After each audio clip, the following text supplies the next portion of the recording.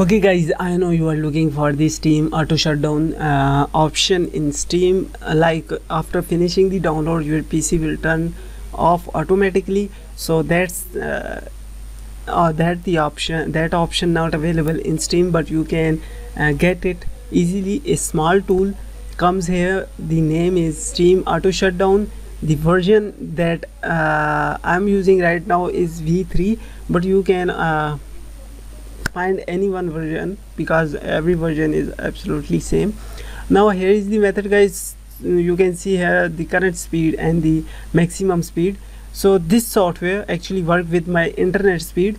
Like if i'm getting uh, to now i have selected 1 mb in software. So when my internet uh, goes less than 1 mb so it will shut down automatically. Like the current speed goes less than 1 mb then my computer will be shut down. So uh, what I need to select here the perfect setting is for my setting uh, for me like I'm getting 600 so the minimum might be I'm getting the 400 sometimes so I can go with 200 KB per second so when my internet usage will go less than 200 it will shut down my PC so that's the way guys this software actually work and uh, if you are using the PTCL broadband with 2 MB internet then you can select here the 50 KB per second. So when your speed goes less than uh, 50 your PC will be shut down. So it's all about your internet usage.